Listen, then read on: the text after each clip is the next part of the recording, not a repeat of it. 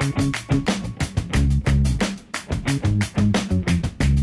Hi guys, welcome to Simply Scuba. Here we have the Tusa Hyper Dry Platina 2 snorkel. Um, so this is actually a, a pretty fancy snorkel. Um, it's got some cool features all around it. Um, the main one being that it's got a dry valve down at the bottom, uh, which just means that if any water gets in, uh, every time you exhale it pushes it out the bottom. Um, one of its biggest selling points in my books is the uh, sort of semi-rigid snorkel tube, um, which just means that you're, you're far less likely to sort of bend or break it.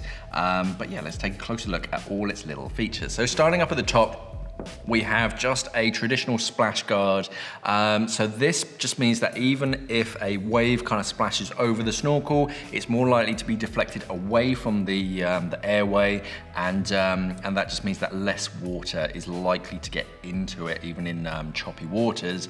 If you do submerge under the water, then yes, water will get in. Um, but if it's just sort of wave splashing, you might get a little bit of water in, um, but the majority of it is going to be sort of displaced and uh, sort of around it.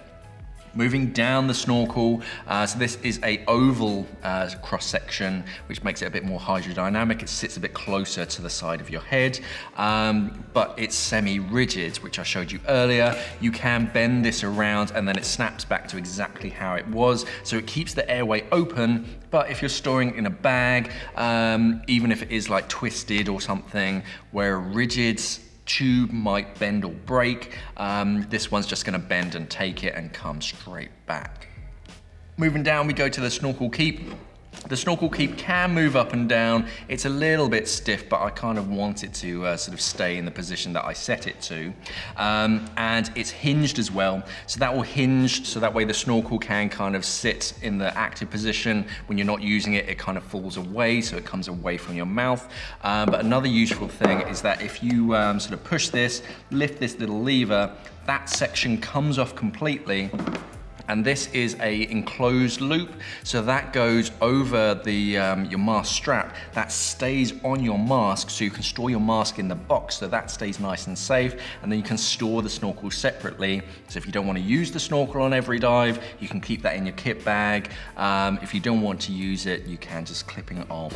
Um, so they're really quick and easy. Um, and then you're ready to, uh, to go for a snorkel.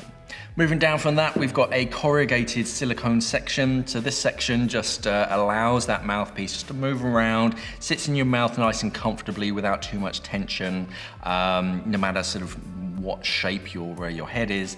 And, uh, and when you're not using it, whenever you let go, that falls away from your mouthpiece and keeps this area open so you can use your regulator um, and uh, you've got plenty of space. Your snorkel isn't getting in the way.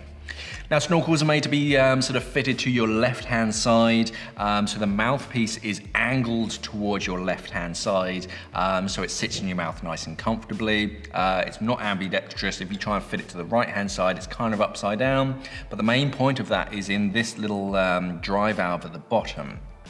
So as you notice, underneath the mouthpiece, we have this big, big section, um, which is, uh, it seems like it's kind of pointless. It's just a big section. But what this is, is a water trap so if any water does make its way in, it's gonna go all the way down to the lowest point, which keeps the airway open. You can still breathe past a, uh, a small amount of water. And, uh, and every time you exhale, there's a one-way mushroom valve in that. So whenever you exhale, that's gonna push any water that's trapped in there straight out the bottom of the snorkel. So you don't have to blow it all the way up the side. It just comes straight out the bottom and it gets replaced with fresh air. So you have a nice clean airway. So all in all, this is a very um, nice uh, snorkel. I actually used to use one exactly like this.